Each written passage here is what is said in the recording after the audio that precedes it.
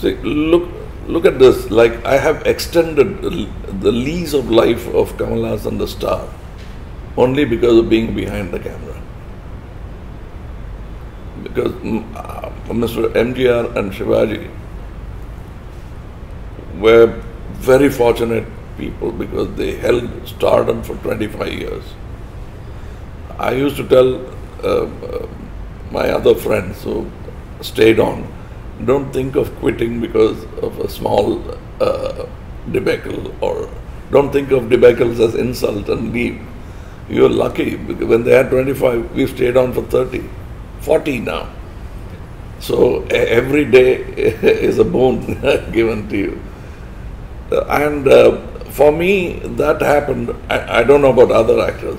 for me, it happened because the technician came up with innovations for the star to prolong his life.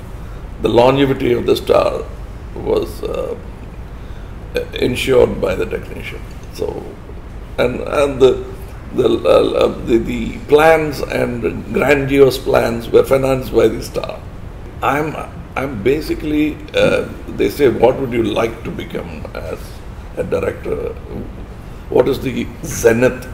As it becoming an audience, not being invested heavily. The nervousness of an investor sort of throws him off balance. It makes him uh, do knee-jerk reactions to smallest of things.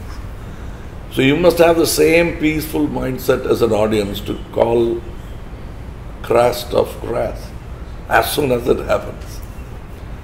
That is the beauty of an audience because his investment is also equal because he would have spent 500 rupees he, he, he, could have spent it elsewhere.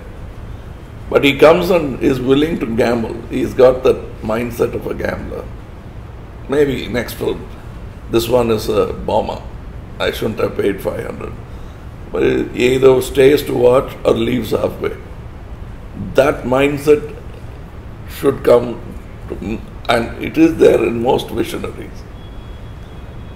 They are not nervous Mr. Vasan Saab or uh, um, Yasif Saab or many of the great filmmakers, they were not scared to try. Yes, they were worried, everybody is worried about failing. But not trying is not going to assure you success.